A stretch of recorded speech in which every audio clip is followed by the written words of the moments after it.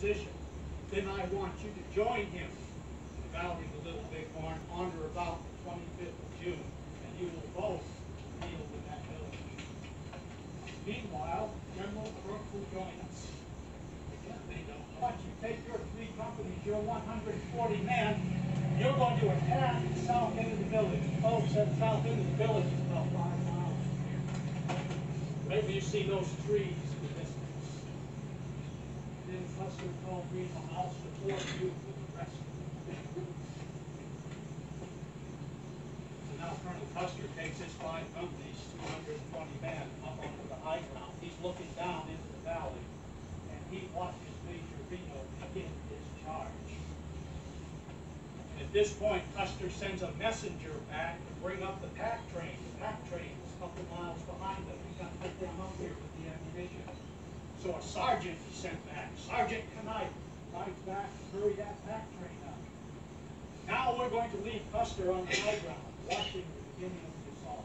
We're going down with Major Reno in the valley.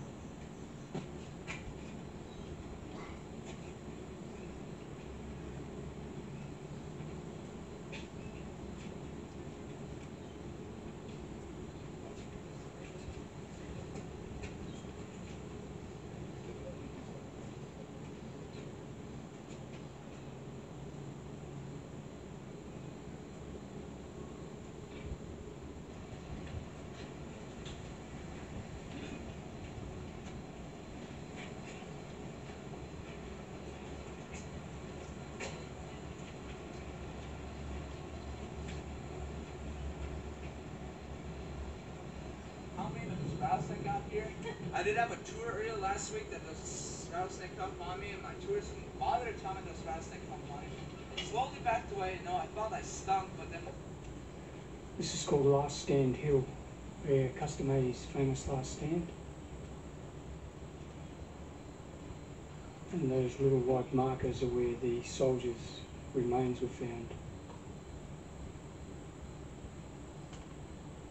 And all the were gathered up and buried under that marble block.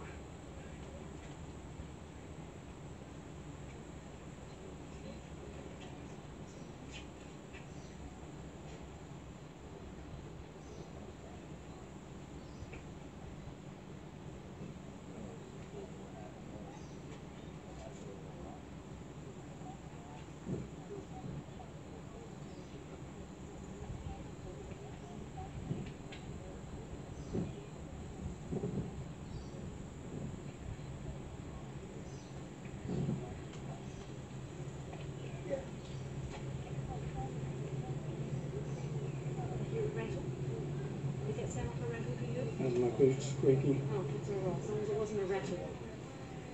There's rattlesnakes here, they said.